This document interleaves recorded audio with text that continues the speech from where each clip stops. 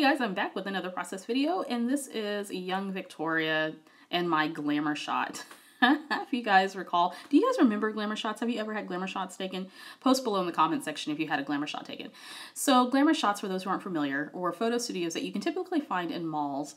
And what they do is you are assigned a makeup artist or hair artist or whatever, and they do this makeup um, this makeover so you get makeup done, you get your hair done, and you get photos taken in various different frocks. So for me, um, I got my nice big bouffant of hair that's like shellacked with Aquanet, as well as that hideous blue jean jacket that's all bedazzled.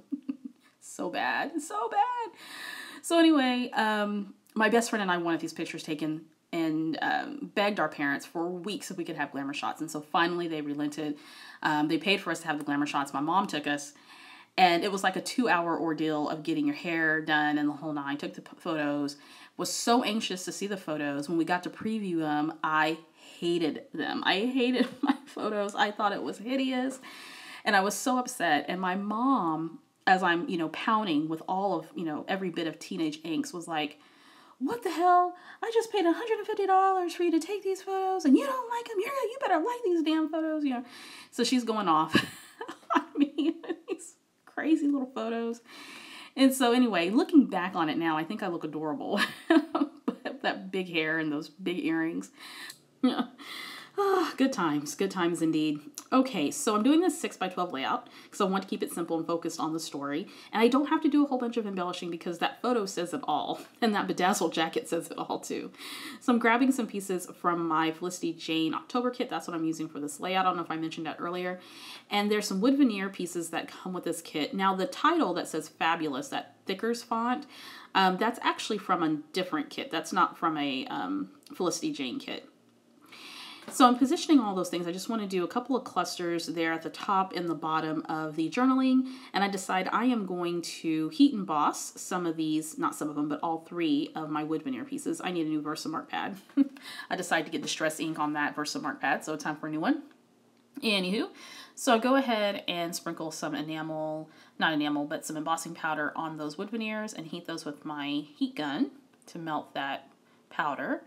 And now it's time to position everything. Now, while um, I was letting those pieces kind of dry just a little bit and cool down, I went and typed up the journaling, which basically says everything that I talked about. You know, um, it being the 90s, I was probably about 13, went to glamour shots, um, didn't like my photo. My mom said I was being dramatic because I was. now I'm putting on the sticker that says these moments. That's exclusive to the kit. And then um, another sticker, which I don't know why I put adhesive on that because it's a sticker. but either way, it's down. And then, oh, I do the same thing with that sticker too. I didn't even realize that. Okay, so I put those two circles there, one at the top, one at the bottom. And now I'm going to layer on my wood veneer pieces. These little cute hearts. And yes, here we go. So here I'm using some um, Tombow Mono Aqua Glue. Get those all put down.